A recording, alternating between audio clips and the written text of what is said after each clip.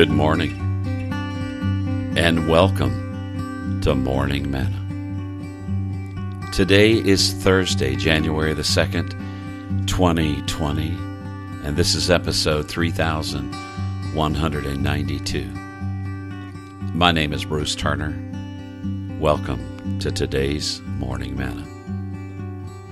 Today's episode is titled Hold On. Stay tuned.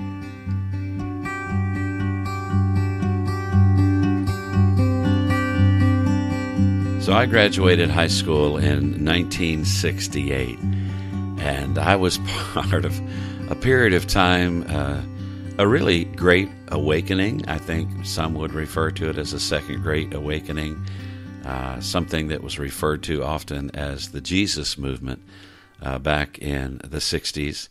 And um, I bought my first guitar uh, in 1969 and uh, just began to find uh, great joy in music and expressing my faith. In 1971, a contemporary Christian band called Ocean uh, came out with a song that became quickly one of my favorites, and it really inspires what I want to share with you today. The song was titled Put Your Hand in the Hand. and the song goes like this Put your hand in the hand of the man who stilled the water. Put your hand in the hand of the man who calmed the sea. Take a look at yourself, and you can look at others differently. Put your hand in the hand of the man from Galilee. That's my encouragement to you today on the second day of January as we continue to step into a brand new year.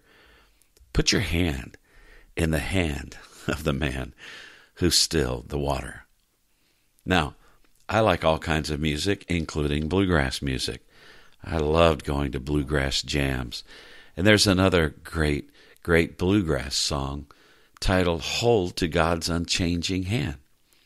Let me share with you the lyrics from that song. Time is filled with swift transition. Naught of earth unmoved can stand. Build your hopes on things eternal. Hold to God's unchanging hand. Trust in Him who will not leave you whatsoever years may bring. If by earthly friends forsaken, still more closely to Him cling. When your journey is completed, when the valley you pass through, fair and bright the home and glory, your enraptured soul will view. And the chorus, Hold to God's unchanging hand. Hold to God's unchanging hand. Build your hopes on things eternal. Hold to God's unchanging hand. Hold on to God's hand. Hold on.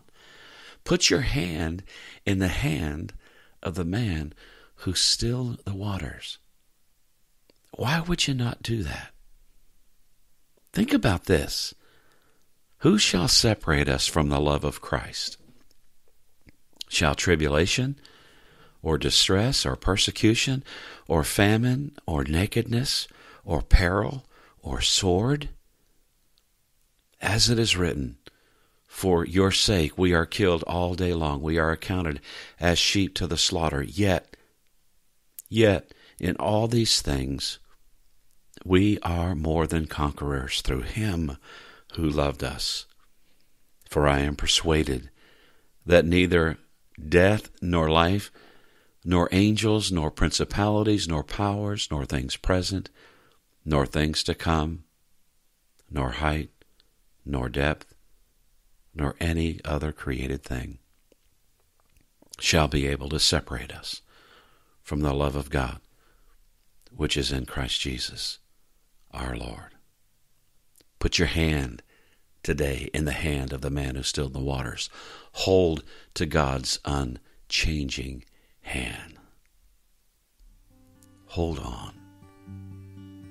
Father, thank you that even when we're not holding on, you're holding on to us.